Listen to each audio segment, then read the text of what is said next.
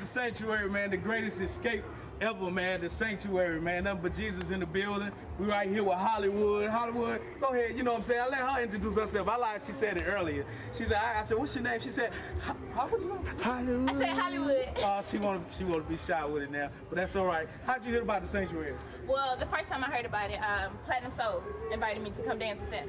So I came and danced, and then I saw everybody else perform, and I saw him. This is the part I like. Yeah, this is the part I like. Yeah. So then I liked it from there. Okay, yeah, she be putting it down, man. You know what I'm saying? I'm sure y'all seen her, you know, on the floor tonight. She was kind of giving a tribute to Mike.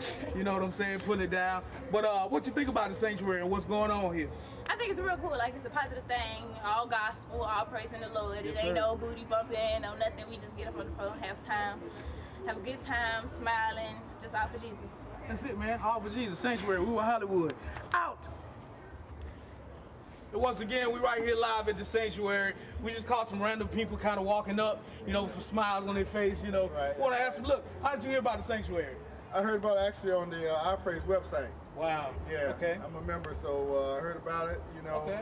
hooked up with uh, I think it's Q, DJ Q. Okay. Yes, sir. And, DJ uh, Q, got- shout out. Got the invite, so Yes, sir. You know, here no, we are. good. Welcome. Good to have you. Thank good to have you. Good to have you. And what do you think about an event like this?